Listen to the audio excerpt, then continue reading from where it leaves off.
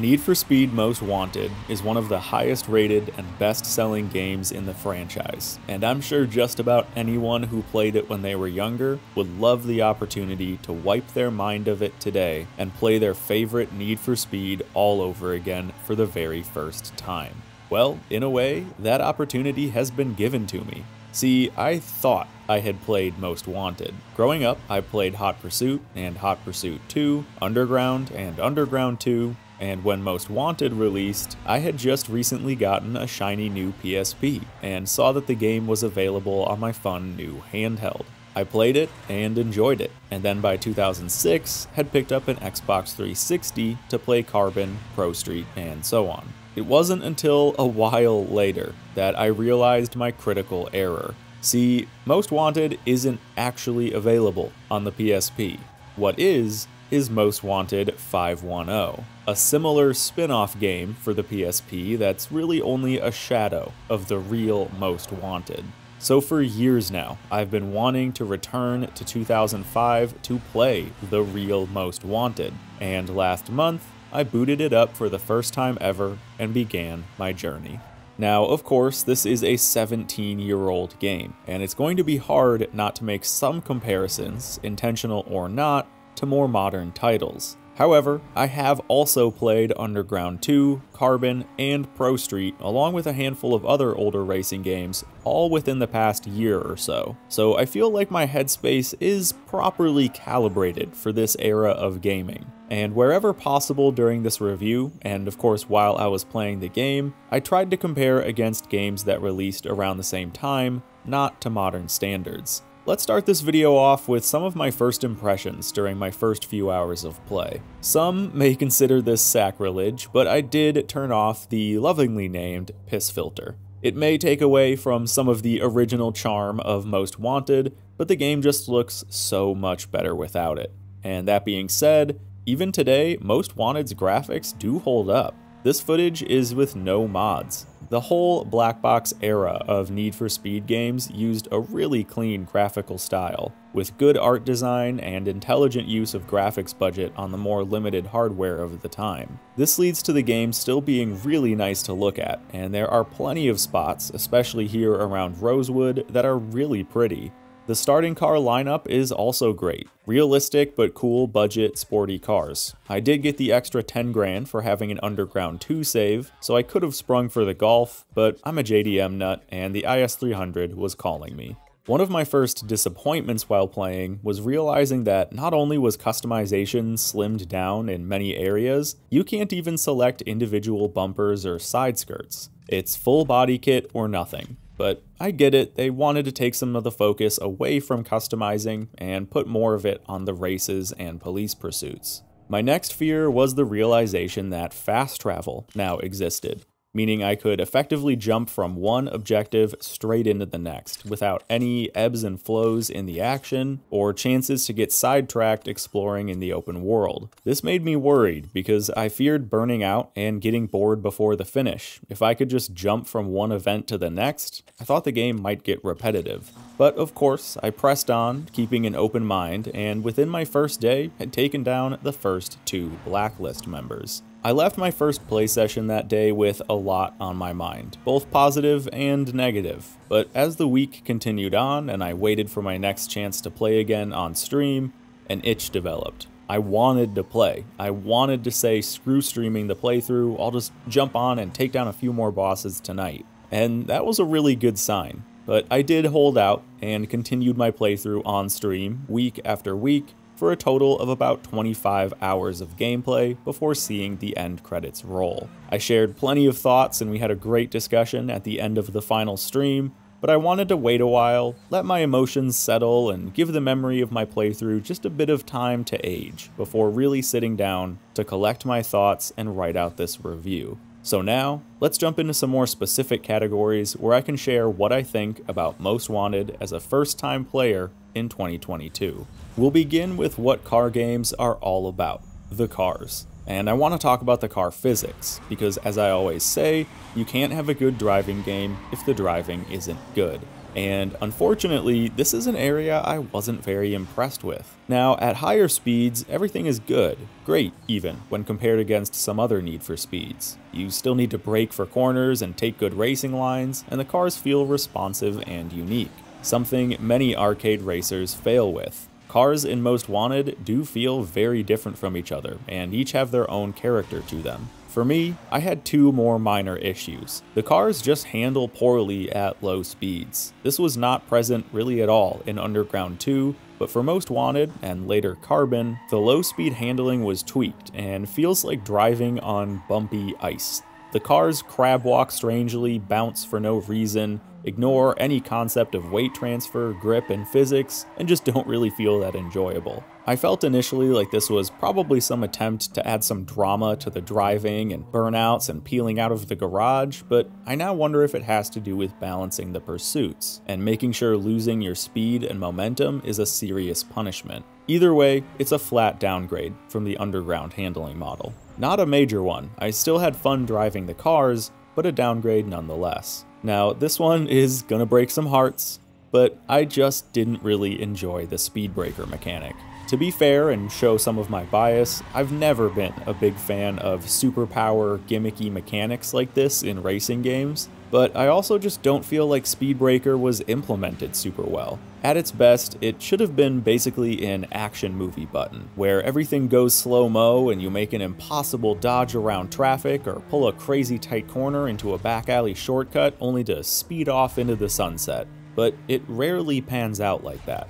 The heavily altered handling just saps way too much momentum, so when you come out of Speedbreaker, you find that your sick 100 mile an hour handbrake entry into the hairpin has left you two gears too high, going slower than the traffic you just dodged. I feel like they should have made it either more powerful by allowing you to keep more speed, or just not altered the handling at all, just giving you some more time to slow down and think about what move you want to make next. I ended up never really using Speedbreaker in races, only finding it useful for that extra oomph you get when plowing through police cars during a pursuit. Unfortunately for me, Speedbreaker just felt awkward, and while it obviously didn't take anything away, it didn't really add anything to my game experience. This is a feature that I'll admit probably was really cool if you played it when you were a kid, but I just don't think it aged well. Now let's talk about the car list itself, because I feel like one thing Black Box era Need for Speed games have always done really well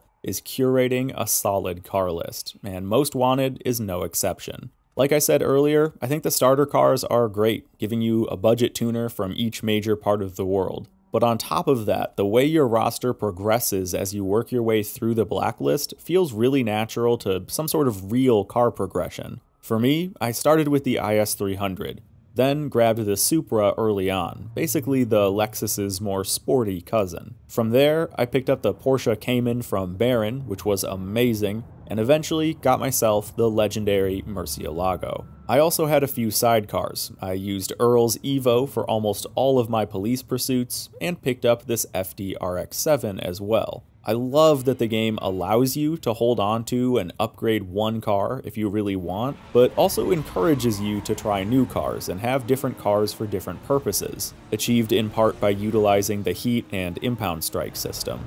I felt like there was always a cool car to look forward to, and you're always working your way up the ladder. The car progression feels great in Most Wanted. Also, I'm glad they took the hint after Underground 2 and removed SUVs entirely, keeping the car list more focused on actual sports cars. Finally, with the cars, I want to talk a bit more about customization. This is a clear low point, considering the games that surround Most Wanted. Underground 1 and 2 had customization that to this day is in many ways unmatched, and Carbon brought us the iconic auto sculpt feature. Most Wanted, however, feels lacking in comparison. It feels like they gave us enough to still enjoy customizing cars, but didn't really spend any time innovating or improving on any features. Instead, slimming things down and removing features entirely like dyno and track testing, presumably to encourage more of a focus on the actual driving.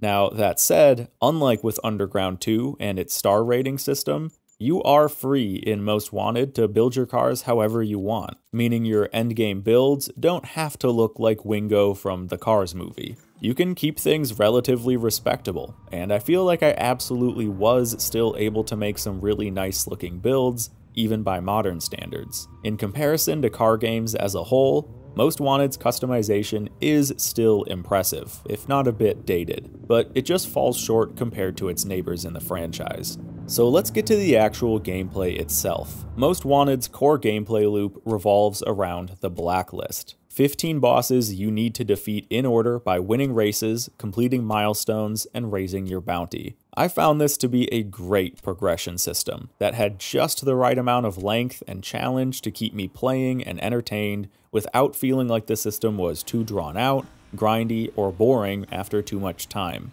Even at the bottom of the list, taking down each boss feels rewarding as you make your way towards the top 10. The first handful of bosses have pretty easy challenges, only making you do a small handful of races and get in some really easy pursuits, but of course, naturally as you progress, the requirements grow, and eventually you could be spending a couple hours just on one boss. But it still never really slows down, because taking down each and every boss is its own victory, and never feels too far away. Even at the highest levels, you're only required to win 8 or so races, so the progression loop and pacing of Most Wanted is top tier in the franchise. In many areas, Underground 2 felt too grindy and had some spots where the pacing really slowed down or felt like you were getting stuck, and Carbon just flies by too quickly. You can complete the entire game in under 10 hours, and the whole crew territory mechanic never really panned out. So, although the overall gameplay loop of Most Wanted is incredible, I do still have some criticisms with more specific elements. Let's start by talking about the races. I think something probably everyone can agree on here is that the rubber banding in Most Wanted is a bit excessive. To be clear, rubber banding has its uses. It's a great way to balance the game for multiple skill levels and keep the races interesting. However, rubber banding in Most Wanted is simply far too overtuned or overused. This leads to two things. One, getting past often feels cheap. It doesn't feel like you were outplayed and outmaneuvered by a better driver. It feels like the AI turned on some extra power and grip so that they could get ahead, and that doesn't feel like a fair challenge. And the second, larger issue for me is that it makes the majority of each race feel useless. For example, on a three lap race, I could be absolutely killing it on the first two laps, nailing every shortcut, dodging all the traffic, and staying 10 seconds ahead of my opponents. However, on the last lap, the AI just activates those rubber band powered turbochargers, and even though I'm still driving just as well, that 10 second gap gets washed away as I watch the AI clearly break all game physics to fly ahead of me in the last few turns. In an attempt to make the races feel engaging, they've instead made the first half of all the races feel kinda pointless. So, unfortunately, I feel like the races are a bit of a low point for the Black Box era, with Pro Street taking a pretty clear win in that category in my eyes. This also applies to drag racing, which was pretty good in Underground, but far too complex and chaotic in Most Wanted, and then good again in Pro Street. Now let's talk about the pursuits, because this is the major standout gameplay feature of Most Wanted, and I've got some thoughts. Most Wanted brings the return of police to Need for Speed after being absent in the Underground games, and boy did they come back with force. I need to address this right away. The police AI in Most Wanted is incredibly impressive. It is so clear that there was so much dev time spent on this, making sure everything the player thought to do could be countered by the cops. The way they read you at low speeds and block you from getting out of a jam, the large variety of unique tactics they use to pit maneuver you or create moving roadblocks, the different units all having different styles and methods, it's honestly really impressive, and I can't think of any game, even modern game, that has created a police AI system more competent than this one. And I enjoy the way the pursuit and bounty systems are incorporated right into the main gameplay flow. In order to get the chance to race the next Blacklist member, you need to complete a set amount of challenges, like hitting 10 cop cars in a single pursuit or racking up $100,000 in damage to the state. This is on top of the overall bounty over your head, that will start super small and reach well into the millions by the end of the campaign. It's a great way to break up the gameplay and make sure you aren't just going from race to race to race with nothing in between. The blacklist system and the way it manages the pace of Most Wanted is phenomenal, and the pursuits are a strong element of that. However, I do have some issues as well. Like I mentioned with the racing, cheaty AI isn't fun to play against, and in order to keep up the intensity, the cops often cheat quite severely. They rubber band excessively, they spawn out of nowhere right around you, and can sometimes bust you in really odd, sometimes unfair ways. I should state here that getting busted is very punishing in Most Wanted. You lose everything you worked for in that pursuit, and reset your heat level, and get an impound strike. It's harsh, which is good, but it needs to feel fair. It's one thing to get busted because you made a bad call and the cops blocked you in with a smart maneuver, but when you're in the middle of a 15 minute pursuit with all your challenges complete and just trying to escape, only to get busted because a cop spawned out of nowhere right in front of you, causing you to get stopped by a bad hitbox or physics issue, that isn't good challenge. The pursuits themselves are really fun and intense and can lead to some super exciting action movie moments. And while you're in that big pursuit, you're building up all that fun and forming all those good memories with the game. But if you get busted because of something that feels cheap, those good moments are taken away along with your bounty and heat levels. Not all, but a lot of the times I got busted in Most Wanted, it felt cheap. And instead of feeling like I was bested, it felt like the game put me in a situation I had no ability to get out of, and it turned what would have been an amazing chase and daring escape into a bad experience with the game. Whether or not I could evade pursuits was more down to luck than it was to skill. Now, I want to be super clear that this is kind of just a product of its time. Simple collision and hitboxes, spawning cars in and out around you, and iffy physics are all just kind of limitations of what Black Box had to work with at the time with a limited time frame. And ultimately, I can't really point to any other game that did things better. In most other games though, the cops are a bit more of a pushover, or the systems aren't nearly as punishing. In Most Wanted, the stakes are much higher, so it feels way worse when things don't go your way. I also want to mention quickly the pursuit progression, which felt a bit untuned to me. Things can go from 0 to 100 and then back to 0 really quick. The early heat levels, for example, are kind of a total joke, and were probably the only times I felt truly bored playing Most Wanted, as I putzed along the highway at 80 miles an hour while a single cop struggled to keep up behind me, the whole time shouting through the radio about how I was evading arrest. Especially on heat levels 1 and 2, I had to actively try not to escape from the cops. And funny enough, a lot of the time I failed. I'd take an easy exit that the cop would miss and go into cooldown, the cop would despawn behind me, and I'd get away without even trying. But then, all of a sudden, on heat 3 or 4, things pick up quick and you've got rhinos slamming you from all angles while 10 tuned GTOs tail you, trying to pit maneuver you, and roadblocks are set up at every turn. The difficulty scaling just feels a bit all over the place. This is definitely more of a minor issue, but I really do feel like with just a bit more work, the difficulty progression of the cop chases and heat levels could have been improved. I really don't think the system is bad outright. In many ways, Most Wanted's cops and pursuit mechanics are unrivaled to this day. These are just some imperfections and signs of aging in an otherwise great mechanic. Alright, now to continue on with other gameplay elements, I've got to come back to the fast travel, which I think is the only mechanic in Most Wanted that is outright bad. I feel that fast travel, as it's implemented in Most Wanted, was a mistake. You can fast travel practically everywhere, to every race, to every challenge, even to the instant start of a pursuit anywhere on the map. Instead of interacting with the world in a natural and organic way, you're interacting with menus, teleporting around right to where you need to be. This makes the open world feel pretty useless. Fast travel is always a balance of finding how much convenience to give the player without hurting the gameplay experience, and I just feel like the pendulum was swung too far here. In my eyes, the game would have been better if instead fast travel only let us choose different safe houses to go to around the map, still letting us quickly get to the region of Rockport we wanted to be in, while also giving us time to explore and experience the open world on its own.